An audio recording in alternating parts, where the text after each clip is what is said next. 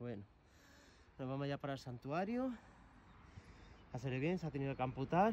Se ve que ha tenido que ser de una máquina que, que corta la hierba.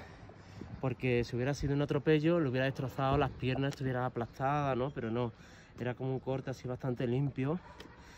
Y bueno, la verdad que es un campeón, ha salido muy bien, se ha amputado. Era para el santuario, pues nada, hacer sus pies, a intentar que coja el biberón, esperemos que lo coge, que lo coja prontito porque les recuerdo que primavera me tardó más de dos semanas que me cogiera el biberón y nada.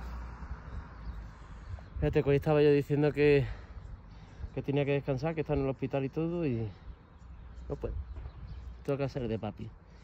Por ellos, mi vida para ellos.